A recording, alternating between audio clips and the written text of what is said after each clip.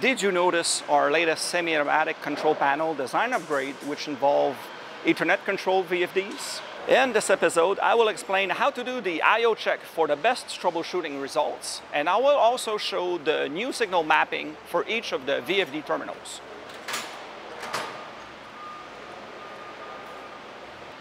Hi, I am Jean-Luc, Sales Marketing Coordinator. Welcome to this Tip of the Day episode presented in collaboration with Derwent Lifecycle Services.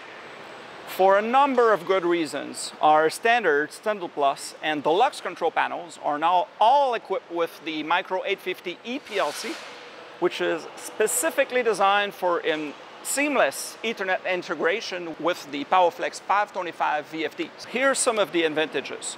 Saving on PLC troubleshooting and wiring circuits standardized I.O. mapping and VFD parameters across our top three control panel options, advanced VFD diagnostic page on the HMI of the deluxe control panels.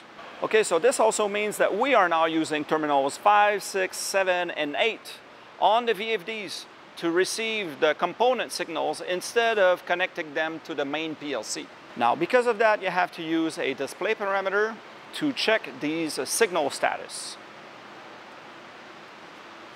B014 is the display number to remember and to get to it from the default display you have to press the enter key twice. The blinking digit shows which one you can currently change.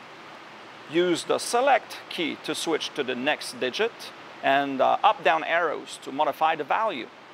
You don't need to worry about the letter, it will self-assign with the parameter value being displayed. Once you can see B014, you can now press the enter key to access the parameter value. At this point, current signal status of terminal 5, 6, 7, and 8 are now being displayed with each of the digits from right to left. A value of zero meaning absence of signal or zero volt, and one meaning 24 volt or presence of signal. By looking at these, you can now check if these component and circuits are good. VFD1 being the pre-stretch motor controller is receiving the carriage load height, also called auto height photo eye on terminal 5. It is receiving the carriage gate prox signal on terminal 6 and the reinforced wrap signal switch on terminal 8.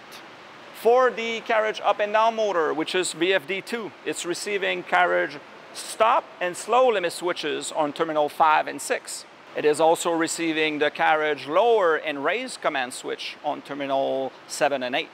Finally, on VFD3, the rotation motor is receiving the bumper photo eye signal on terminal 5 and the rotation pulse count signal on terminal 6.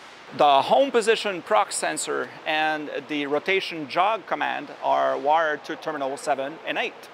Okay, here's a review presented a little differently. On VFD3, starting from the right, you have rotary arm bumper, rotation position pulse count, rotation home position, and rotation jog switch. On VFD2, you have carriage stop and slow limit switches, followed by the carriage jog down and the carriage jog up switches. And to finish with VFD1, you have auto height photo eye, oh carriage gate prox, nothing on terminal 7, and reinforced wrap switch.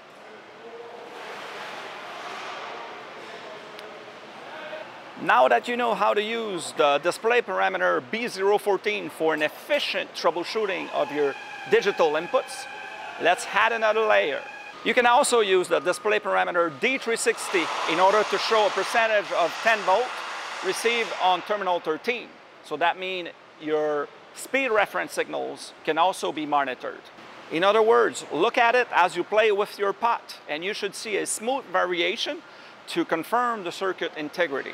Now for VFD1, the uh, pre-stretch VFD, this one's a little different.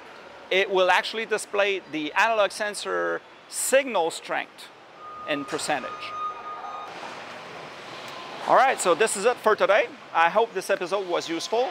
Please do not hesitate to contact us with any questions you may have. Thanks for watching and have a great day.